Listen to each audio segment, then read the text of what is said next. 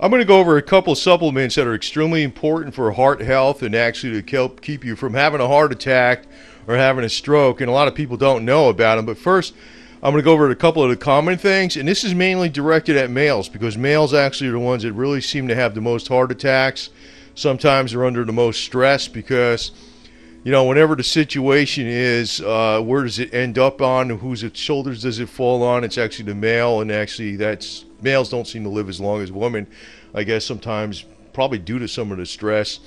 So the only way males actually pay attention to the presentation sometimes is if we have young ladies with heart bikinis. So we have hearts. We have hearts to represent uh, what we're talking about on the subject matter here. So to keep you focused. But uh, I'm going to be brief on this because I go through a lot of different um, medical journals and I read a lot of information. I've been reading this for many years. And first, I want to go over the real common stuff, but there's two things I'm going to get to that are extremely important, uh, which you probably see in the title. But anyway, fish oil is commonly well known. Fish oil has been known for a long time to help lower the, um, the triglycerides, which actually leads to the cholesterol. Now, cholesterol itself is not actually bad because, despite what the doctors say, because if you look at all the statistics from the Eskimos, they don't have any heart failure. They don't have any heart problems. They're, they have cholesterol over 300. Uh, fats are not necessarily bad. Depends on what type of fats. I just want to put that out there because it depends on, you know, the garbage fats that are processed are the problem, not the fish oils and things like Coconut oil is another great fat to have, olive oil, and hemp oil. But anyway, that's a separate subject. Just want to go over that real briefly. Also, uh, they'll also know about the B vitamin complex. They actually take extra B vitamins. Uh, B12 can actually reduce stress. I want to get this out of the way first before we get into I talk about B12 and B6 niacin, the B complex. Now, the one thing that actually, you know, you could be working out all the time. You could be a person that goes to the gym all the time. You can be the right weight. You could have low blood pressure. You could have low cholesterol, say 120 or something. You can be eating mostly vegetables, um, or be almost vegan practically, and still have and still be eating uh, proteins from non animal sources and thinking, oh wow, I'm not going to have any problem with heart health or arteries or anything like that. So, what I am saying here, though, is you will. You will. Because what happens is, and this is where a lot of people don't even notice, deal, what builds up in your body is a thing called homocysteine. Homocysteine is a body is a pro, byproduct of protein synthesis, and it builds up in your. It's part of one of the main things that builds up in the plaque in your arteries and veins. Homocysteine. So you could be working out, and actually, the more protein you're taking, I mean, protein's not bad, but I'm saying you have to address this problem of the buildup of the homocysteine, the byproduct from protein synthesis. So the one thing to take for that is NAC. NAC will help lower the homocysteine levels in the blood. Now, homocysteine not only contributes to heart failure by clogging up the arteries or stroke by clogging up the arteries and veins or, or the heart itself, the aorta, but it also has a major role in macular degeneration, your vision, homocysteine, which is, like I said, you could be thinking you're doing everything right. You leave this out. This is the uh, NAC, N-acetylcysteine. It's actually a protein, okay? It also also homocysteine is also linked to hearing loss. So N-acetylcysteine is actually uh, something to take that can help you with preventing problems of hearing loss. If you already have hearing loss, I don't know if it's going to help you at all, but it may. It's not going to hurt. Let me put it to that way. N-acetylcysteine, uh, N-acetylcysteine. Now, um, the um, the thing, other thing with NAC though, it can also, it will also boost your immune system.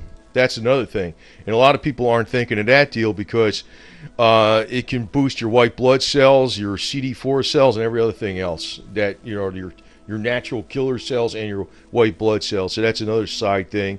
Uh, besides, so it can actually, by having a strong immune system, which uh, a lot of people's immune system's all messed up because of all the toxins and stuff and plastics and everything else. That can help. That can help. Now, again, I mentioned with the omega 3s, the fish oil, that can also lower the homocysteine. But it's like a lot of people aren't thinking about the NAC. Now, there's another supplement out there, and you can get these from foods, but they're generally not that available in foods. And these supplements are cheap. I do not sell them.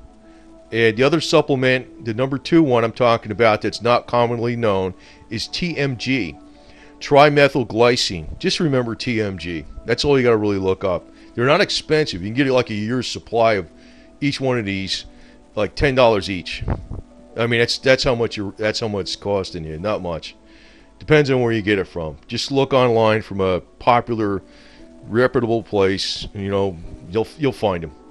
And TMG though. Now the interesting thing about TMG is that it will lower homocysteine uh, levels in the blood, but it'll also convert the homocysteine from the buildup that's already on the arteries. It'll actually convert it to something that's actually beneficial, something that's harmful to homocysteine, it'll convert it not only in the blood, but also on the plaque that's in the arteries to something beneficial.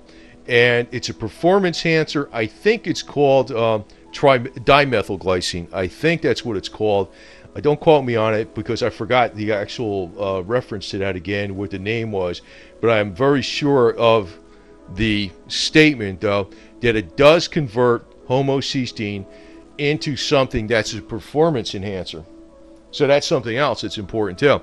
So if you take these two supplements, um, you know, it's let me put it this way. I don't know if it's going to be guaranteed you're never going to have a heart problem or anything like that, but you could have a heart problem if even if you're doing all the other stuff you think is right. You could be saying, I'm eating healthy, I'm exercising, I'm the right way. In the meantime, your arteries are building up with this homocysteine byproduct from protein synthesis of the plaque. It's not all this homocysteine stuff, but it's a large part of it is from the protein synthesis. And you can be exercising. You can go to the doctor, and then three days later, just drop dead of a heart attack because of a clog up in your aorta or something like that. That's what happens typically.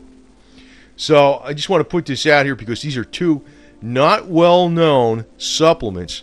Uh, one being NAC, N-acetylcysteine, N-acetylcysteine, and it's also used sometimes where it helps with preventing hearing loss, prevention of you know, it's not going to be guaranteed that you don't have hearing loss, but it's been known.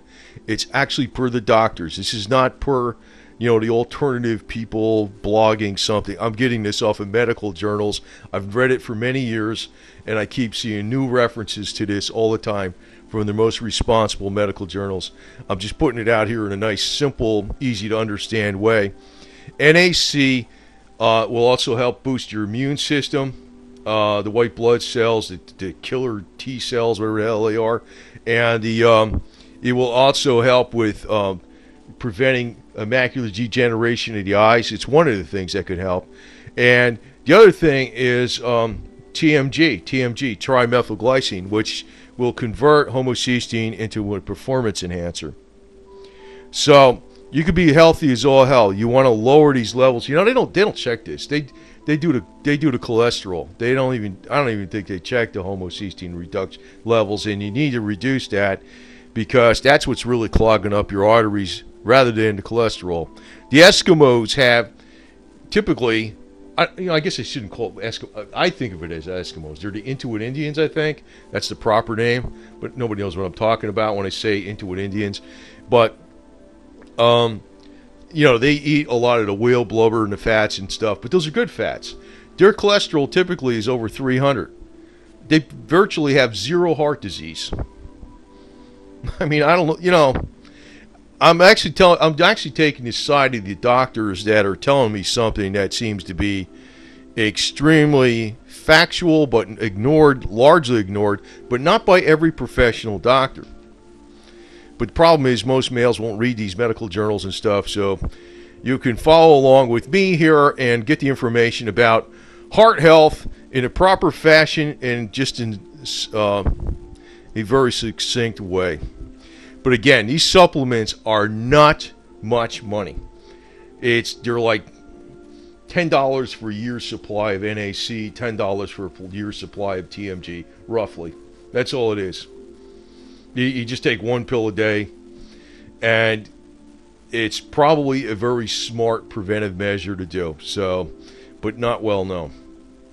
So more directed at the males, but females will definitely, definitely, definitely benefit by this. Yes, because I, I know males don't aren't the only uh, ones that get heart attacks, but it seems to be more prevalent amongst males, and they're not being told this by their doctors, even though real doctors, real medical professionals are writing about this in medical journals for many, many years. How important these two two supplements are, and they're cheap and they have a number of other uses besides uh, lowering the homocysteine levels, which is not just about heart attacks, but hearing loss and macular degeneration of the eyes.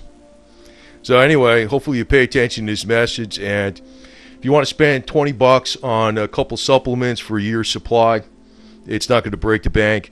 Um, and I do not sell anything, and I don't have any financial connection to this stuff at all. It's just stuff that I do, and I've researched for many years, so I just figured I'd pass it on.